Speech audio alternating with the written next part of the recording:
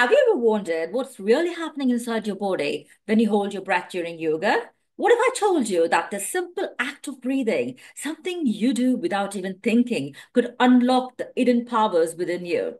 Imagine being able to relax deeply, sharpen your focus, and even balance your hormones all through the way you breathe. How does this seemingly automatic action hold the key to better health emotional stability, and even a longer, more vibrant life. In this video, I'll dive deep into the fascinating science behind breath control, lung capacity, and hormonal balance, the three pillars that elevate yoga from just a practice to a life-changing tool for health and well-being. Let's uncover how the way you breathe can transform your body and mind. Hey there, welcome back to my channel. If you're new here, I'm Devi Sundar, and in my channel, I talk about breath, mental health, and occupational well-being. If you've not already done, please do hit that subscribe button and the notification bell so you get notified on my weekly content. Without any further ado, let's dive in. When you hold your breath, a practice known in yoga, Kumbhaka, which I mentioned in my recent video, The Science and Roots of Breath, uh, amazing things happen in your body. First, your levels of carbon dioxide rises.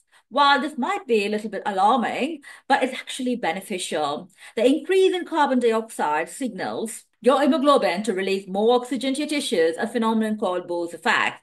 Essentially, your body learns to use oxygen more efficiently. It can be related to the famous quote, necessity is the mother of invention. And holding your breath activates that vagus nerve that triggers your common digest system, the parasympathetic nervous system, and gets your body into a very relaxed state, reducing your stress, lowering your heart rate, and creates a profound sense of calmness. Now, what happens when you're holding the breath to your lung capacity? Yoga practices like pranayama are designed to strengthen your respiratory system. When you breathe deeply, you engage your muscles in your diaphragm and your intercostalis muscles, making them more stronger and more flexible. This improves the tidal volume, that's the amount of air you move with each breath, and your vital capacity, the total amount of air your lungs can hold. Over time, literally, you're training your lungs to work better.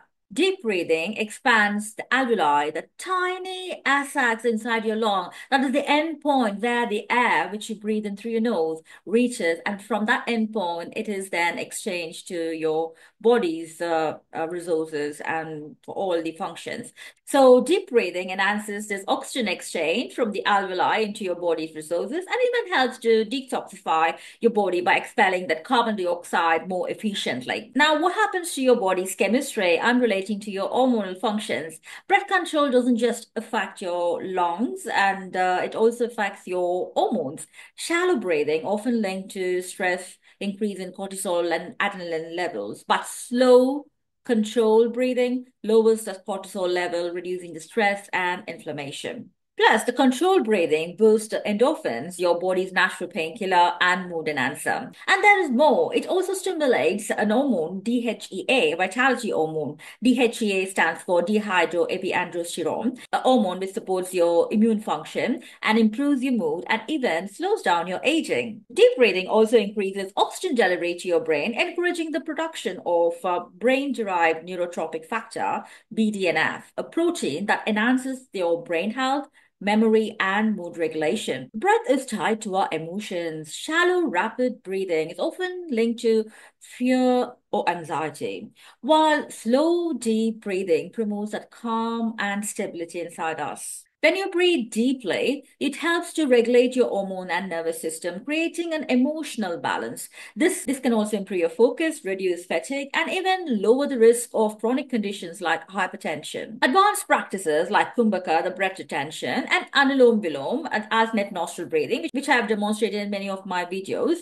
go a step further balancing the nervous system and stabilizes the hormones. This can regulate insulin and glucose levels, reducing that uh, diabetic risk and balances your thyroid hormones for better energy and even enhances the melatonin production for deeper and more restorative sleep. Breath control in yoga isn't just about relaxation. It's scientifically proven way to optimize your health from boosting the lung capacity and improving the oxygen efficiency to balancing the hormones and enhancing the emotional well-being.